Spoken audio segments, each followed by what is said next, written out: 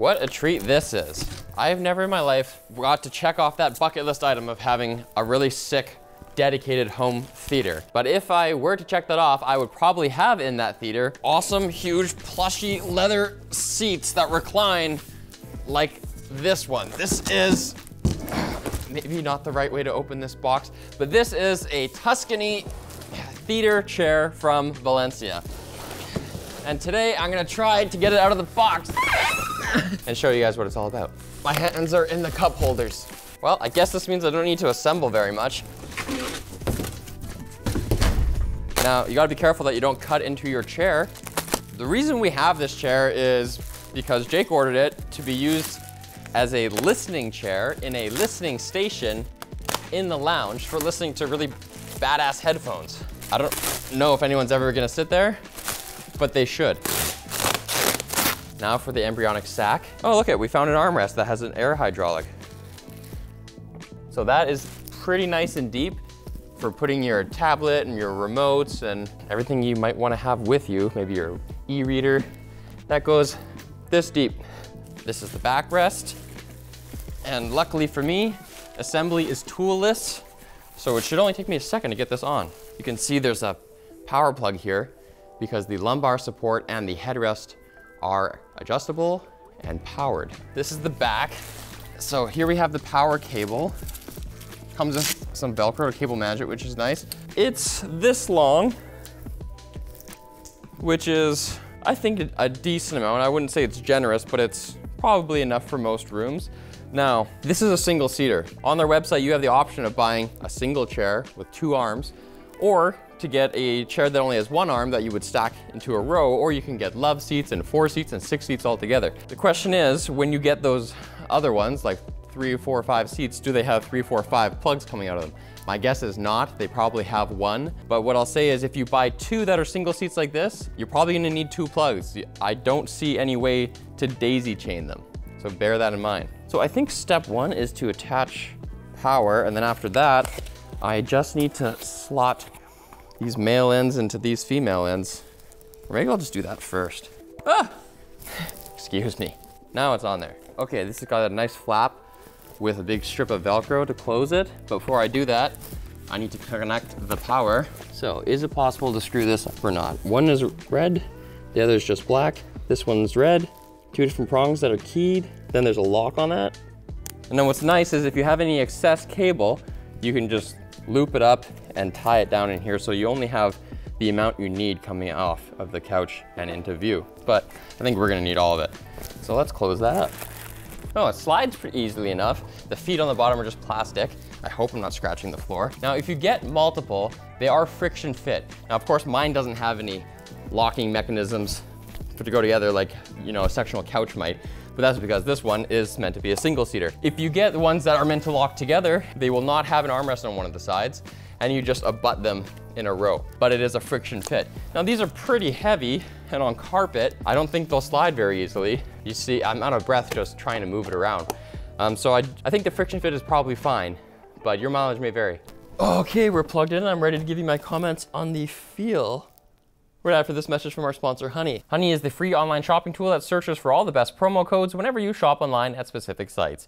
It's free to use and installs in just two clicks. Honey works on lots of your favorite stores, including Amazon, eBay, Newegg, Razer, Best Buy, Walmart, and a ton more. All you have to do is click Apply Coupons while you're at the checkout page and wait for Honey to search for the best working coupons. So get Honey for free right now at joinhoney.com slash short circuit. All right, making use of the cup holder here. Do these come out? Oh yeah, okay. Easy to wash. Does this come off? Yeah, all right. Get these out of here. Okay, so there's a fair amount of cushiness when you sit on it. Uh, in terms of how firm it is, it does feel like there's some uh, resistance to the foam, but it does cushion and squish quite a bit. This is Napa leather 11,000, whatever that means. Napa leather is uh, known for being soft, but there's no certification for it. It is just genuine leather. This has two armrests. Oh, and look, it comes with little feet to put on the feet so that they don't scratch your floor. That's nice. And here's the instruction manual that I never used. Wow, they tell you not to use a knife to open the box, even though the instructions are in the box. Thanks for that. So the color we have here is actually color matched to the chairs we already have in the lounge.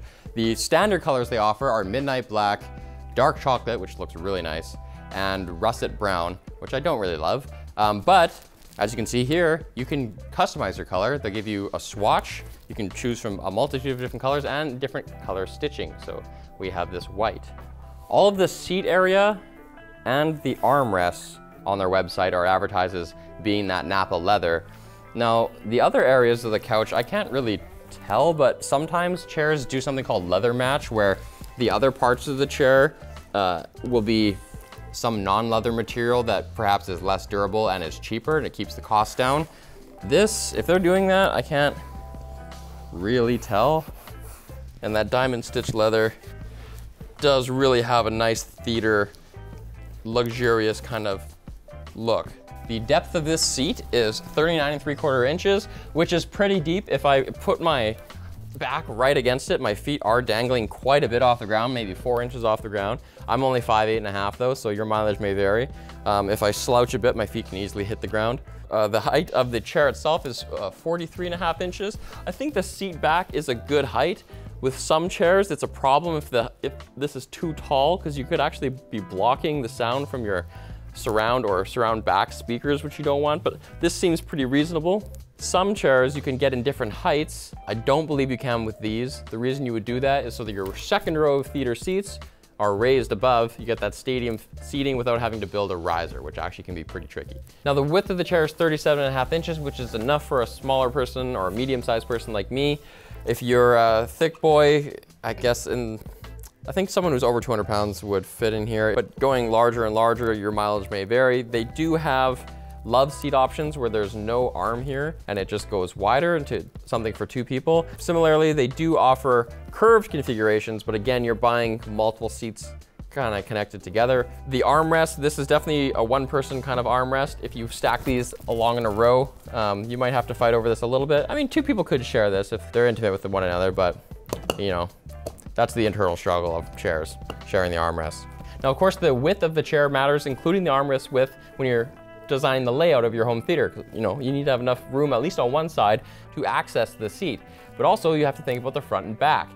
Am I so close to a wall that when I recline, I'm gonna hit the wall? This chair is designed to be able to be put pretty close. So Brandon, why don't you step over here? So if this is our starting point, totally not reclined, imagine there's a wall behind me.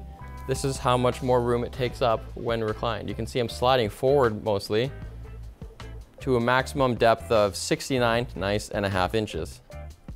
I might just stay here. Then there's the powered headrest. For that, the, the goal here is to lift the head enough that I can still watch the TV comfortably. Whoop. Oh, actually that is so supportive and nice. You could just go back and forth with this and it's like a massage. That is cool. I don't feel like I need an extra pillow at all. It might be nice to have like a bolster on the side, but Yes, this is very comfortable. Oh, cool. And of course, I can independently adjust the recline while having the headrest stay the same. Oh, then there's a third setting for the lumbar support. That is aggressive lumbar support in its max. That's awesome actually, because when I don't have the lumbar support advanced at all, I feel kind of collapsed in this chair at this particular angle. But with it pressed a little bit, now I feel way more it's like the feeling of driving a Jeep when you're up high on the road. I feel like I can just really attentively consume content with this. Now another thing to consider is how much noise does the chair make when it's reclining. This is not silent. Depending on how loud the movie is, I don't know, you might get distracted. I don't think people are really gonna be adjusting their chairs too much throughout the show, but it is a noise. The headrest is more silent and then the lumbar one is also pretty quiet. Of course, there's always gonna be some noise just from the friction of the leather against your body. Oh, that's another thing. This leather does not appear to be too squeaky. Taking a look at the controls here, you've got a button for the footrest up and down, you've got lumbar in and out, and you've got the headrest up and down. Okay, there's a USB port, not USB-C, that is for charging your phone or whatever else you have over here. Then there's this button. This button if you hold it down, we'll reset the chair. So it brings, let's say you have your, the foot up a bit, you got some lumbar support going, and then your headrest is up a bit. If you want to reset the chair so it's back to baseline for the next person, you hold this down. It doesn't look like this has one tap functionality for, let's say, saved profiles where I hit number one and then it reclines the chair just to the degree that I like it and puts on the lumbar support that I need. It's pretty basic. You have to do it manually every other time. Now, if I tap the reset button, that's how I control the LEDs. Now, unfortunately, uh, there is only one LED color and it is a binary toggle on and off uh, without a gradient of dimmable levels. And the cup holder light is connected to the floor light. Now, these are all frills, but it would be nice if they were independent, if I can make them super dim because I'm really distracted by them, but it'd be nice to have some.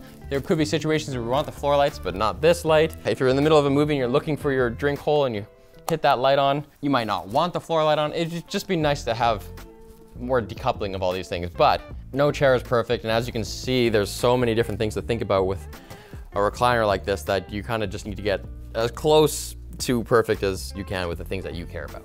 There's one more test I want to do, which is the spill test using this 40 ounce water bottle from, ooh, I already spilled unintentionally, lttstore.com. So let's say you get a spill. It looks like it really beads up and looks easily wipeable using your stealth hoodie from lttstore.com. These things, I'm still not positive what they are. I thought from the pictures that they were gonna be buttons for LEDs and stuff, but I think I have an idea. Hold on. No chair would be complete without the accessories. You can get wine glass holders, tablet holders, and of course, carbon fiber tray tables as accessories for theater chairs. And they were nice enough to send us this tray table and this box, which I have no idea what this is. And my suspicion is that these accessories connect to the chair using these mysterious mounts. All right, carbon fiber tray. I mean, I don't know if it, this needed to be carbon fiber. It can freely spin. I mean, that's kind of nice. I wish I could change the angle of this a bit. It, it is kind of on an incline. I could roll a ball off it for sure. Oh God, yeah, kind of basic. Almost looks like it has like a hatch in there for batteries or something. And then I don't know what these channels are for either, but that's it. Yeah, it's good enough to put a plate on, a plate of nachos on or something. I kind of wish it slid out so you can get it more centered on you, but it's not bad. Now what's in this box? Oh, it's a tablet holder actually. Oh, sweet. So you can adjust the width, put your device in there. Cool, picture in picture, two games going. Not the greatest fit, but it's a pretty discreet accessory, so I don't mind that at all, it's okay. One thing that is nice about this mounting system is that it doesn't occupy the cup holders. There are some designs where you lose that cup holder if you, if you have the accessory, so that's cool that they're complimentary. This kind of already scratched. Do you see that? That kind of sucks just because it's metal on metal. One thing I wonder is, can my table fit in my storage? I do have to take this off. But that's cool. There's no compartment to slide this in. I guess it's just gonna be in there. And what about this one? Uh, hmm.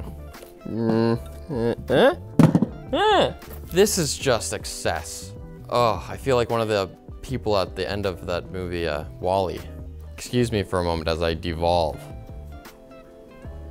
Okay, so this is a pretty bougie chair. I'm sure you can get more expensive ones. I'm sure you can get cheaper ones. From where I'm sitting, this is a pretty nice thing to have. So is it the chair for you? That depends on your theater, your budget, and your doorway. You need a doorway that is at least 24 and a half inches wide to get this chair in the room. But that's smaller than a standard door width, so you should probably be okay. So thanks for watching, guys. If you liked this video, hit like, hit subscribe, and check out some of our other chair videos that we made for some reason, including this gaming chair that Colton made. He's a gamer.